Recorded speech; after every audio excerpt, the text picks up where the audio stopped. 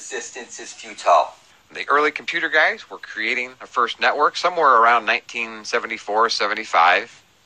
They decided to call it Ethernet after the concept of ether that was in early alchemy. We must create a super rite which remains unknown. Only some may know these things and others not. You don't have to like it, but you need to make an atonement for your sins. And animal sacrifice, as you see here, is insufficient. You need to pinprick your finger and place a drop of your blood over the words, I intend to bring forth heaven and earth for the benefit of all. You publish a short video beside my own under blood over intent on YouTube. It's very simple. There's no way to fuck